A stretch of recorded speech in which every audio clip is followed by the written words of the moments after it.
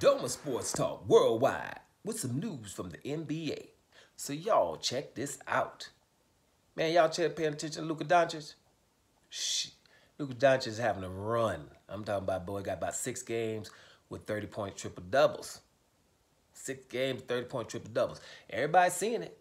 The dude's, dude's is throwing down, right? He's got a pretty complete game.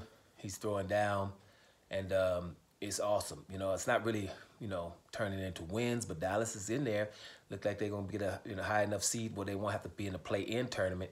He should be able to get them there. I think the uh, addition of Daniel Gafford is going to help them considerably. You know, don't underestimate Daniel Gafford. Uh, you know, the dude get jumps out of the, the gym, plays pretty good defense, and, and Dallas needs some defense. Now, you know, Powell is all right, but I think Powell is not a starter. So, they, you know, Dallas going to be all right. Uh, it seems to be that Luka Doncic and Kyrie Irving are handling their business together. And so you're going to have people, you know, if you get close in games and in playoffs, you have closers. So uh, y'all better not let Dallas be close. Luka Doncic is going on a historic run here, and uh, you keep your eye on it. You know what I'm saying? But for me, I love it because it's making Russell Westbrook look a whole lot better, right? A whole lot better if you're paying attention, right? Because Russell Westbrook can't shoot, right? Wasn't he Westbrick or something like that? He can't shoot, right? Russell Westbrook ain't six eight. Russell Westbrook six three. Okay? He didn't average that for six games. He averaged that for a year. 30 points, 11 and 11 for a whole damn year in the NBA without being able to shoot. That is ridiculous. So now you can kind of fathom it, right? Fathom what you just saw. Not to mention I did it four years, averaging triple double. We're just talking about 30 points because Russell Westbrook led the league in scoring before. He's led the league in assists before. He's the best rebounding guard in the history of the game, but he's still much maligned, right? So we're going to take off that maligned. We're noticing what Doncic is doing, right? So damn it, Westbrook, the king. That's what it is. I don't miss Westbrook games. I didn't let nobody tell me what, because I know what I saw. So now watch it through Doncic, then you can understand what Westbrook was doing all the time. All the damn time right? At six three, People, he's padding his stats. People letting him get rebounds back then. Oh, they were letting him get rebounds. No, the difference is when Westbrook gets rebounds, the centers understood we better let him get it and fill the damn lane because he's pushing the pace. Okay? Transition baskets all day. And Russell Westbrook's assist is not just uh, somebody standing in the short corner three, right? you know, we throwing the ball blindly to the short corner three, and you got the nerve to be in the NBA top 10 plays. It's Somebody better be standing in the short corner three nowadays in the NBA, else the coach gonna get mad at him. So yes, you can throw the ball blindly to the to the damn three without even looking. And if somebody ain't there, somebody getting chewed out. That's not what Russ does. He gets past that guy, even though he doesn't have the best handles in the world. He gets past this guy, comes in, somebody getting an alley-oop thrown to him, or a nice pass because somebody gonna have to stop Russell Westbrook from dunking on him. That's what we had an opportunity to enjoy. Now I was smart enough to not miss any games when it's Oklahoma City, and when he was in uh, Washington, didn't miss any games. When he was in Houston, okay, I missed a few because I couldn't, I can't watch James Harden so much because he's a product of how they call in the game. You know, a little cheating going on. It's hard for me to watch that. And at the Lakers, even though I'm a LA Laker fan, obviously I grew up there in Inglewood, you know what I'm saying? Inglewood, grew up there, right? Right down the street from the Forum. But the bottom line is, right? The LA, how they treated Russell Westbrook, I couldn't watch, right? Blaming him for every damn thing. I couldn't I couldn't watch that. So I, I, got a little attitude with my boys, the Lakers, right now. But I'm gonna always have love for them. But I got to add them. You know, you get an attitude with a family member. That's all it is. I love them. But uh, them Clippers, Westbrook's there. So I'm watching my Clippers. You understand? Watching. Westbrook is there. Coming from the bench, shouldn't be, but on that team, go ahead. Go let everybody go in there. Just one ball for all three of them, good. When I come in, somebody, that second unit, we going to be running and in the playoffs, it's going to pay off. Just like last year in the playoffs when everybody was hurt and they damn near beat Phoenix because Westbrook was doing what? Exactly.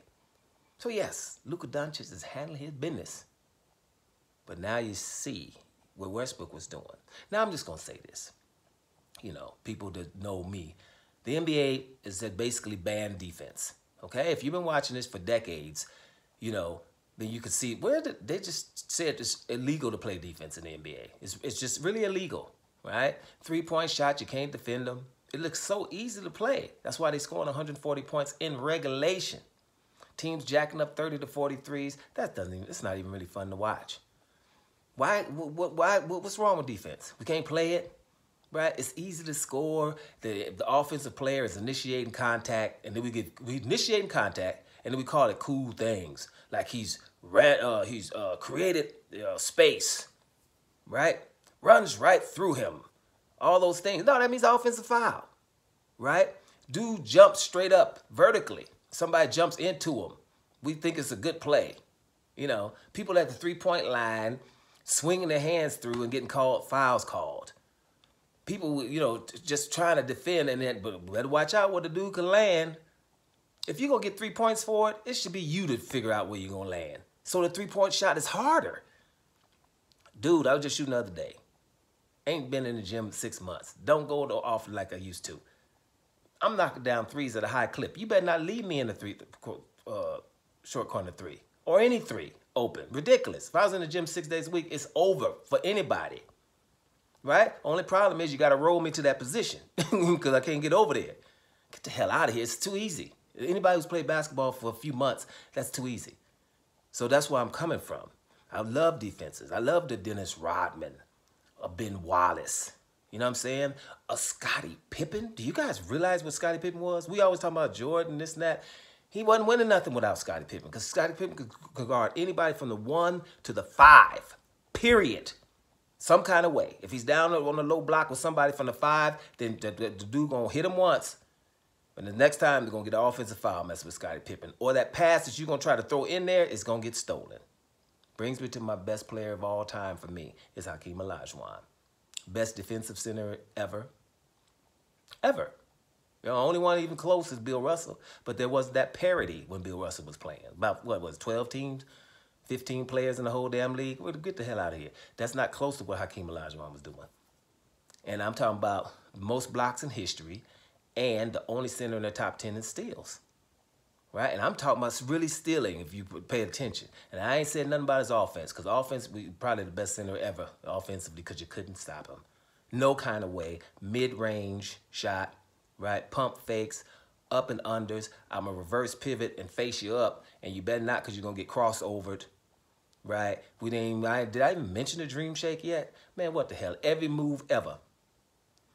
And if I start a team, I started with the dream. By the way, so is Michael Jordan.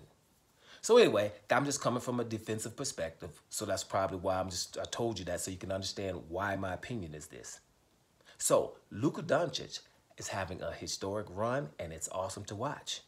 It's just in, in this, well, I, I won't say awesome because it's easy in this game to score, but whatever. It's still awesome because ain't nobody else doing it. But that's the same thing I was saying about Russell Westbrook.